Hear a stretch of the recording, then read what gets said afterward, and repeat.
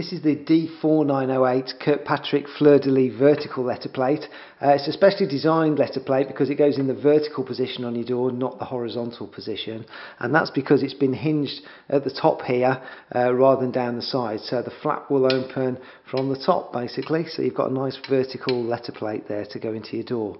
They come in two different sizes. This one is 14 and a quarter inches from the tips of the fleur-de-lis, so that's the full length of it. And this one is a 12 inch one from the tips of the fleur-de-lis.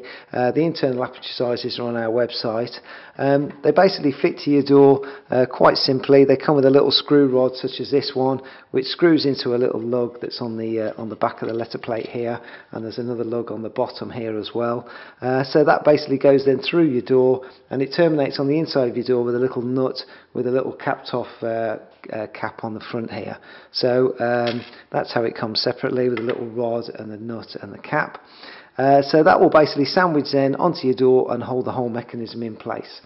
Uh, both of the items work the same way. They're all British made by Kirkpatrick in Walsall in the West Midlands and Kirkpatrick are really good at making some high quality architectural hardware. They've been going 180 years now. Um, they make their items from malleable iron rather than cast iron.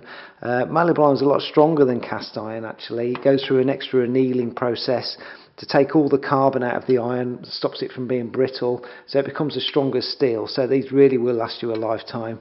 Uh, very well constructed um, and very good high quality.